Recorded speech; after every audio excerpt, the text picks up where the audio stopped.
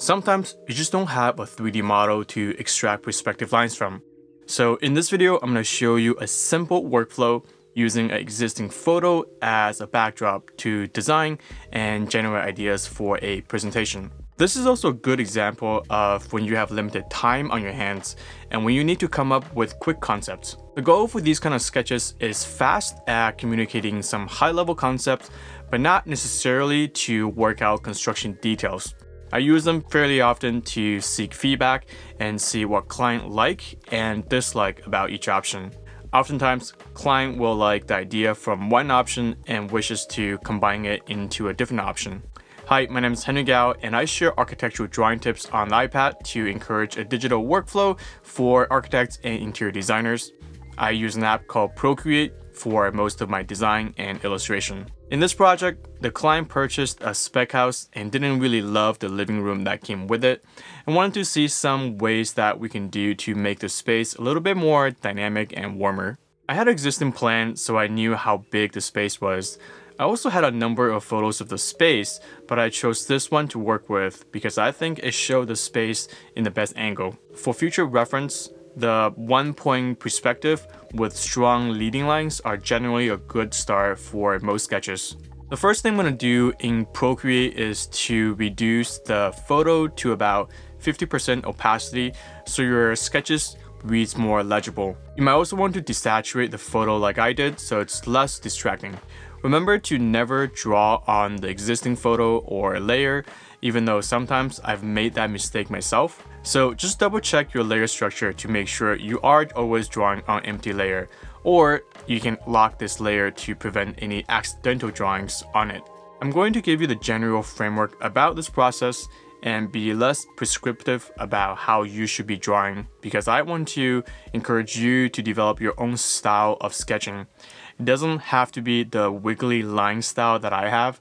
If you prefer to draw in straight lines only, that's totally fine too.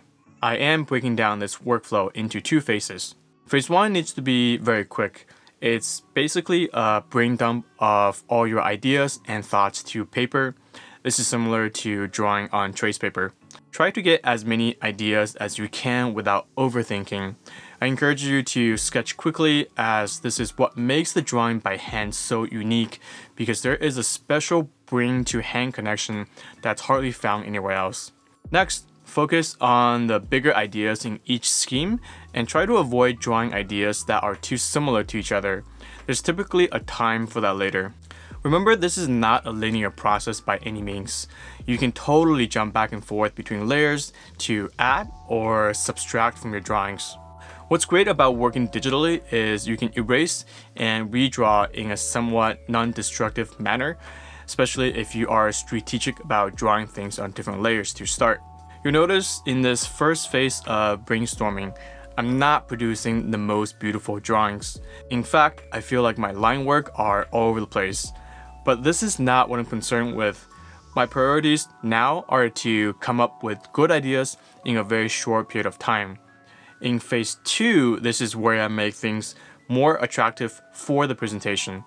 When the heavy lifting is done in phase 1, I will generally have more than enough ideas that I need to delete and pick a few strong ones that will make it into the presentation.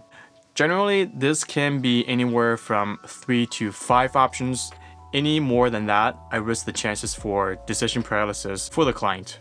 Drawing wise, what I will do is to take the ideas from phase 1, reduce them in opacity, and trace over it with more concise and intentional line weights. And this will be my finished drawing over the existing photo when I export it. In my layer structure, you'll see I've already deleted all the brainstorming sketches and only kept the final options that were presented to the client. As for the meeting, this is generally enough to have a conversation about which direction to push forward and in the next meeting, a SketchUp model and CAD drawings might be produced to better visualize the design with more precision and suggest materiality. For this project, a wireframe view from SketchUp model was sufficient along with some physical materials and no rendering was requested. I feel like this is a simple process that anyone might be able to incorporate into their workflow. So let me know if this is something that you are already doing on iPad or if you see yourself using it in the future. Also, if you have any suggestions on improving any aspect of this process, please let me know in the comments below.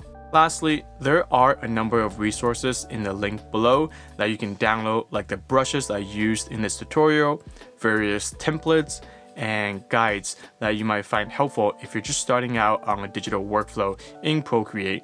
Thanks again for watching and I hope to see you next time.